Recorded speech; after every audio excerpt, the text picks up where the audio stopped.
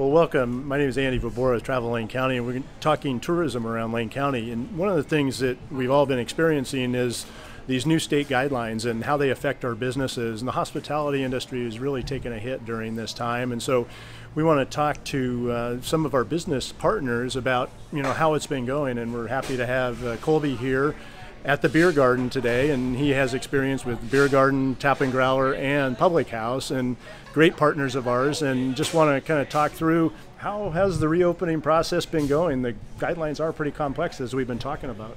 Yeah, they are complex. Uh, we got open at uh, public house on day one. I think it was May 15th that we were able to open up, and then beer garden we waited till the week after. Uh, mostly just because it's a lot of work. It's not easy to open these up. It's like opening up a whole new restaurant. There's so many little things you got to be worried worried about. Um, got to get your staff back and get them trained up and get your processes in place and distancing and figure out the table configuration and, and that sort of thing. So we're able to do it. It hasn't been without its hiccups, but it's worked.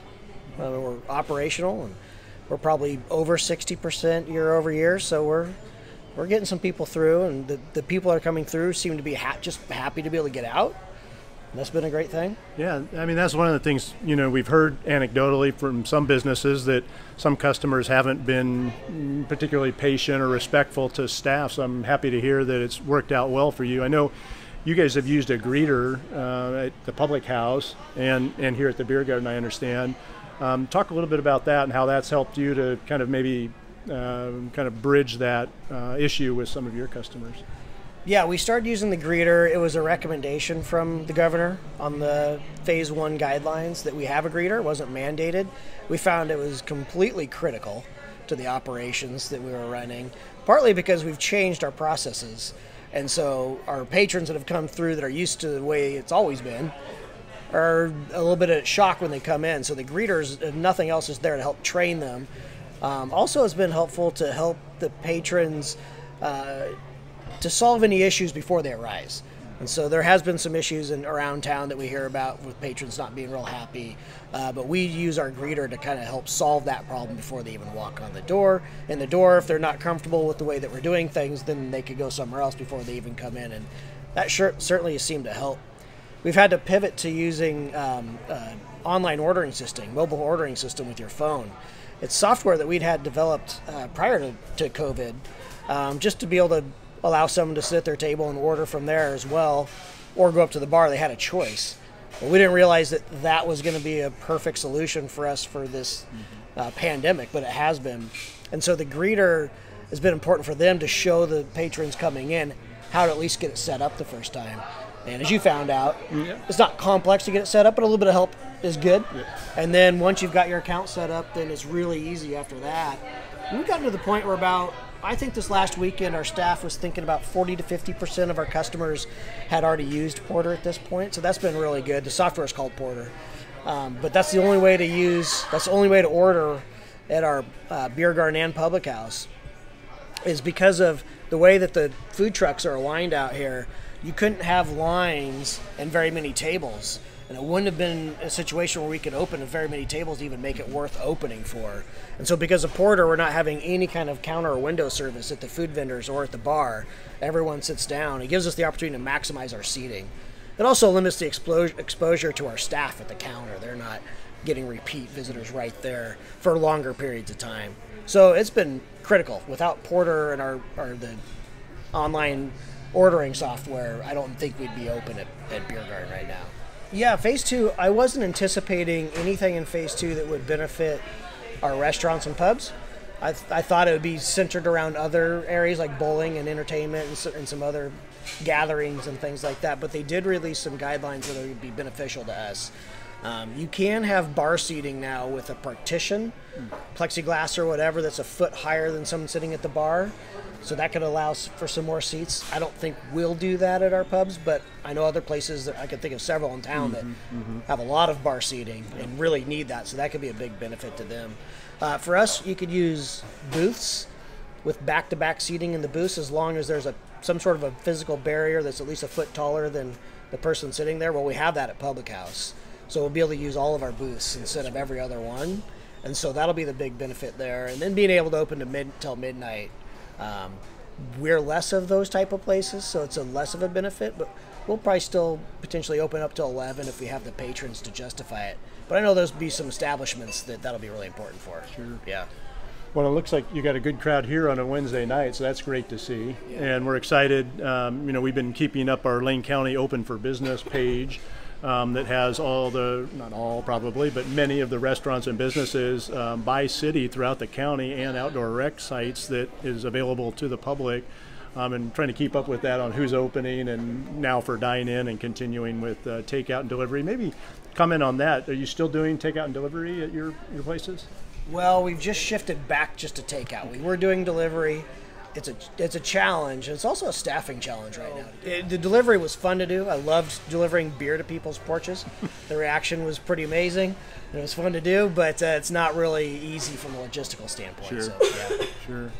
Um, talk a little bit about just kind of hopes and fears as we move through phase two and eventually with a vaccine, I guess, or some other treatment get to phase three. I mean, kind of what's going through your mind as we move through those phases? Well, it's been important for us. You know, we got our the PPP loan from uh, the CARES Act, uh, which was really helpful. Um, so, hope is that the government continues to offer that type of support as much as possible through this pandemic, getting some help, um, rent relief as well, um, some sort of a collaborative mm-hmm. rent relief approach with our landlords. Uh, it's kind of an important thing, you know, because this could be another year.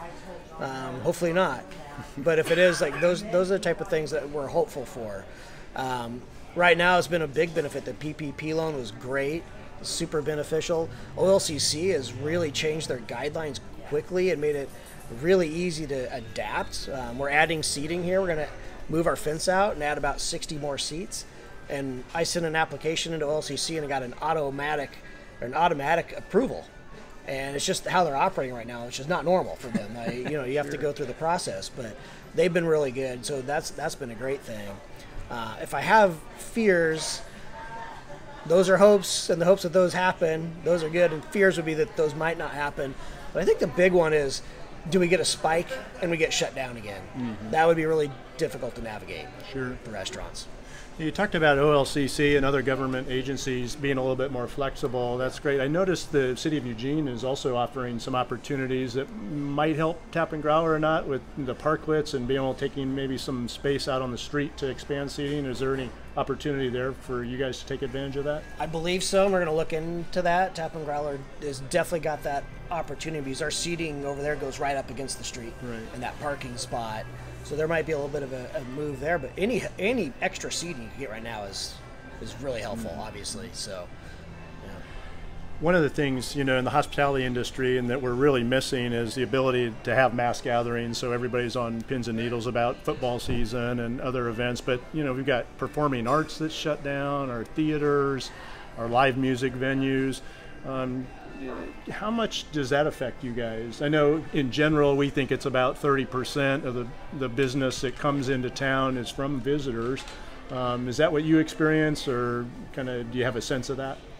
Yeah, we experience it. We get overflow both at Public House and Beer Garden, but I would say even especially at Tap and Growler being so centrally located. You got the Hult Center, um, you've got Autzen Stadium that's close by. We always at Tap and Growler get before and after traffic for football games. Clearly, we do at Beer Garden and Public House as well. So th- that's a big thing. It's it's unfortunate. Um, I guess it is what it is at this point. Yeah. But yeah, that that impacts our businesses. All right. Well, Rick, you've been behind the camera the whole time. I haven't given you opportunity to ask anything, really so you're doing a great job. Uh, anything that you'd like to ask, Colby? So I guess Colby, what I'd ask you is how has this kind of just for hope for other businesses the positives of this the innovation that it's forced you really we, we all want to change sorta yeah. but you guys have really it's kind of been beneficial to you it's been really beneficial and our Porter app you know uh, system for ordering from tables has been the biggest benefit it's been critical for us and i feel like it's if nothing else if other venues offered as an option they could reduce their lines and maintain more tables. For us, it was literally just how many seats can we fit in here safely, meet the guidelines, and Porter was critical in that. And uh, I think it'd be beneficial for a lot of different restaurants. And even there's some bowling alleys that are contacting us as they're opening up right now as well. Thank you for joining us today as we talk about tourism around Lane County. get out there, support your local businesses. They need it. Um, go on to the websites of the Eugene or Springfield Chamber of Commerce. Take the business or customer pledge, you know, to be a good customer or to support the guidelines as we move through this together, and we will get through it together. Thank you and have a great day, everybody.